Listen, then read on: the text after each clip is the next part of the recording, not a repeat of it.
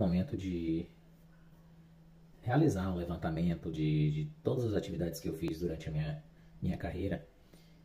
E é aí, uma das dificuldades que eu tive foi referente a quantificar. A gente sabe que a gente fez um trabalho de qualidade, eu acompanho com uma certa frequência alguns mercados externos. Uma diferença de lá para nós aqui é em relação a quantificar em números qual resultado você trouxe. Se você é vendedor, quanto que você vendeu? Você transformou a vida de quantas pessoas? E aí a gente se pega numa situação onde aqui a gente não é acostumado a computar. Ele faz, mas sim, mas e os resultados? O que, que eu quero dizer com isso?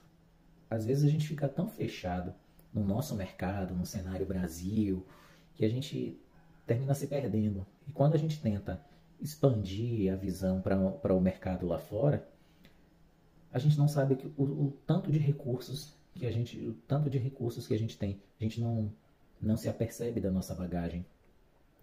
E está sendo um trabalho maravilhoso fazer essa descoberta. O quanto, em quantidade, eu já pude fazer a diferença na vida das pessoas. Grande tabu que às vezes as pessoas não têm, que às vezes as pessoas têm dificuldade de responder. Que é, o que, que você faz? Tive várias respostas para essa pergunta.